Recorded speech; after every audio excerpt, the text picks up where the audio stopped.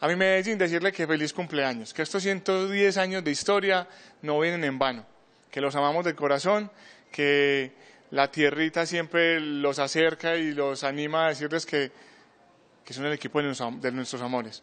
Al medallo lo amo, desde mi padre, desde mis abuelos, desde mis hijos, siempre lo hemos alentado. Entonces, decirles que feliz cumpleaños, que sean muchos más, llenos de esa magia, esa, esa mística que solo tiene el, Deportivo Independiente de Medellín. Orgulloso de ser hincha del mejor equipo del mundo, de mi mundo, de mi vida.